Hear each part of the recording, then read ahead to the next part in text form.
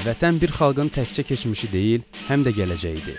Elə bu səbəbdən də onu daim qorumaq ehtiyacı duyuruq. Çünki vətənin keçmişinə sahib çıxmaq onun azad gələcəyinin zəmanətidir.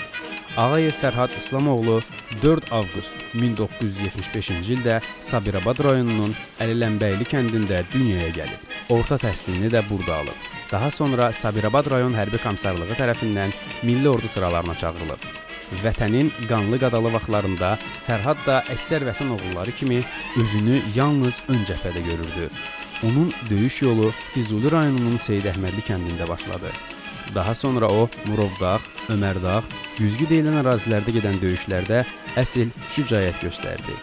1995-ci ilin əvvəlində isə Fərhad Goranboy ərazisində döyüşürdü. 1995-ci ilin mart ayında dövlətçiliyimiz təhlükəyə məruz qaldı. Sanki ölkə yeni bir müharibəni yaşayırdı. Ağır sınaq günləri idi. Fərhadın daxil olduğu batalyon dövlət çevrilişinə cəhdin qarşısını almaq üçün Ağstafa rayonuna göndərildi. Mart ayının 13-də o döyüş tapşırığını yerinə yetirərkən ağır yaralandı. 2 gün sonra isə haqq dünyasına qovuşdu. Azərbaycan Respublikası prezidentinin 4 aprel 1995-ci il tarixli 307 saylı fərmanı ilə Ağayev Fərhad İslamoğluna ölümündən sonra Azərbaycanın milli qəhrəmanı adı verilib.